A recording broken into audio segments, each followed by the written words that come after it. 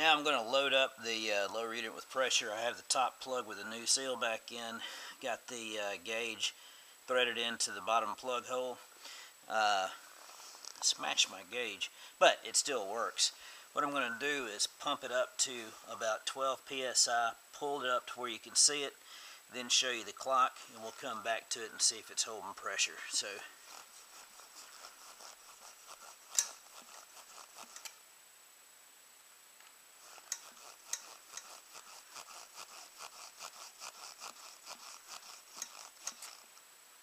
It is not holding pressure.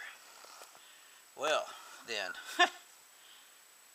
guess that's a, a fail. Tell you what, I'm going to show this to Mule so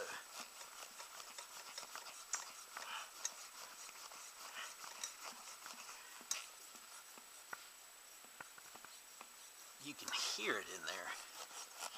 And that is going to be either a drive shaft seal or it's going to be a shift seal. Shift seal is murder to get to on these things.